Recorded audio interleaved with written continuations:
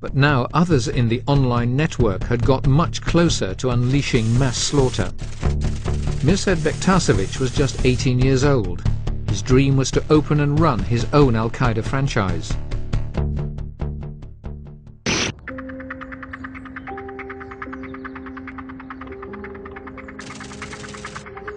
Bektasevic was forming a small terrorist cell in his hometown, Sarajevo.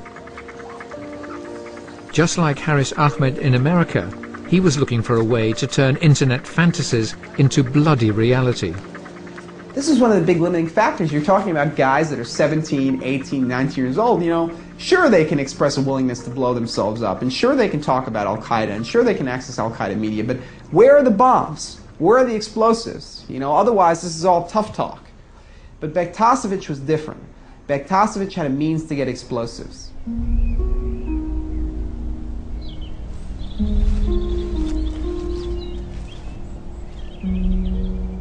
One of the things that makes the Sarajevo cell different from most of the other Al Qaeda related cells is that it didn't have to rely on homemade explosives. And that was because all around here, in the woods and the mountains, there were plenty of ready made explosives that had been left over as a result of the war.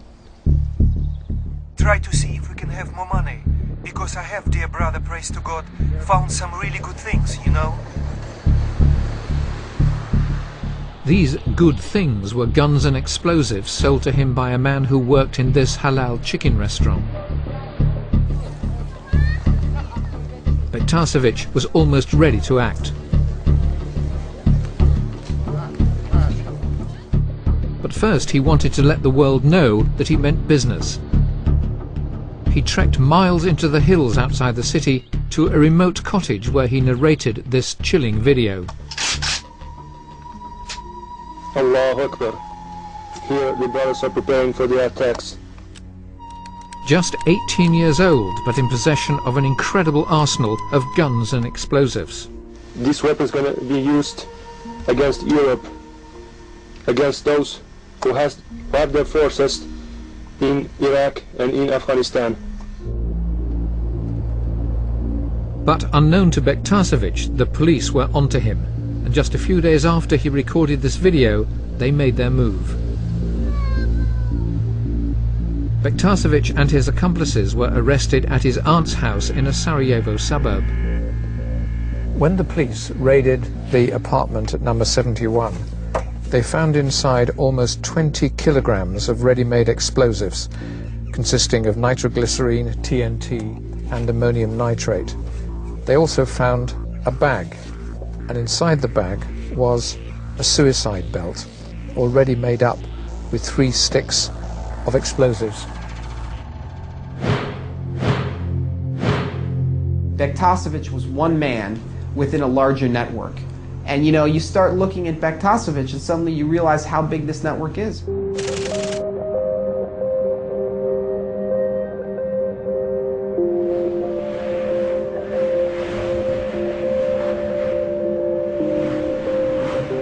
The sheer extent of the network became clear when police discovered Bektasevic was discussing terror attacks with someone who was living much closer to home.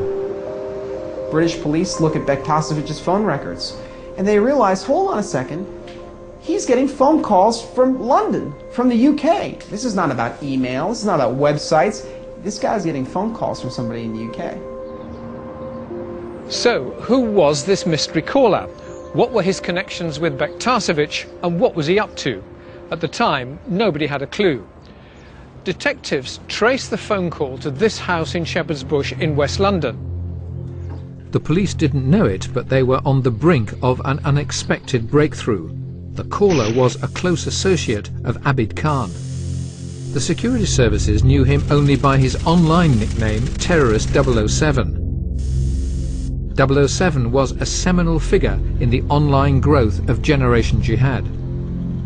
He was someone who demonstrated to the world of Generation Jihad, this young group of people arising, that it was possible to use technology, use the internet, use these social networking forums to burst through the glass ceiling of it's just the internet, it's just the web, and then move into the world of real jihad, real terrorism.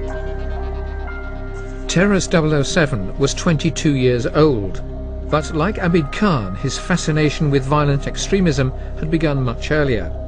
As a teenager, he developed a twin obsession with computers and Al Qaeda's ideology. Central Europe, however, is, is really the heartland of jihadi activity outside of. Aaron Weisburd is a terrorism consultant and a tracker of online jihadis.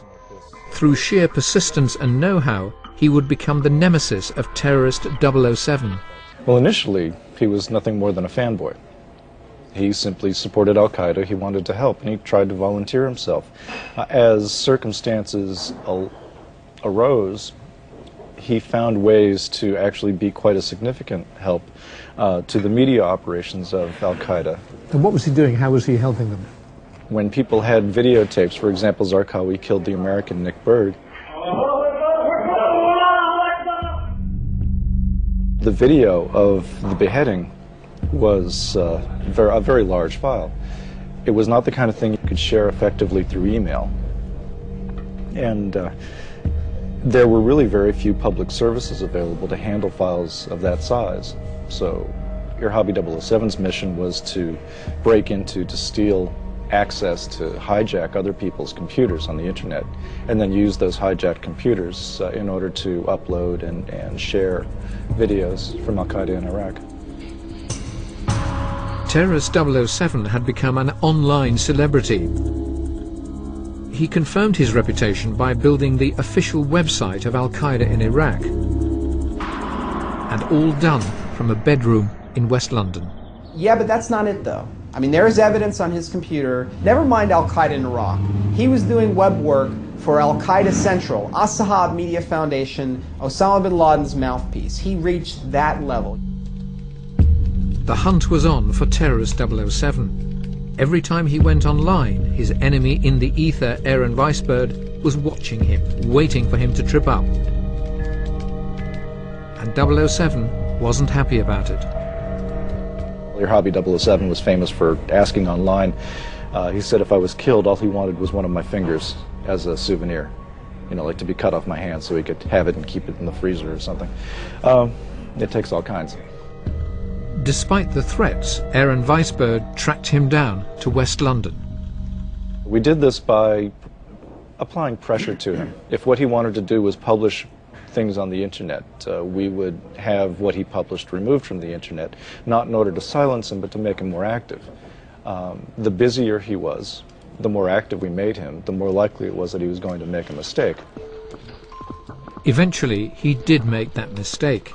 Aaron Weisburd lured him into an online trap. By analysing what 007 put on the net, Weisburd traced his location and tipped off the police. The security services had other priorities at the time, and terrorist 007 slipped through the net. It wasn't until 18 months later, following the tip-off from Sarajevo, that the police swooped on this house in Shepherd's Bush. Officers who raided it had been briefed that they were looking for a man by the name of Yunus Tsouli. They had a name, but that was all.